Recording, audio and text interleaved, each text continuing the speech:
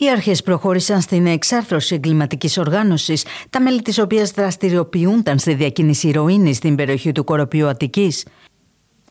Για την αποδόμηση της εγκληματικής οργάνωσης, πραγματοποιήθηκε στο Κοροπίο Αττικής ευρείας κλίμακας αστυνομική επιχείρηση, παρουσία δικαστικών λειτουργών, με τη συνδρομή αστυνομικών της Υποδιεύθυνσης Πληροφοριών και Ειδικών Δράσεων, της Διεύθυνσης Αντιμετώπισης Οργανωμένου Εγκλήματος, της ΕΚΑΜ καθώς και αστυνομικού σκύλου.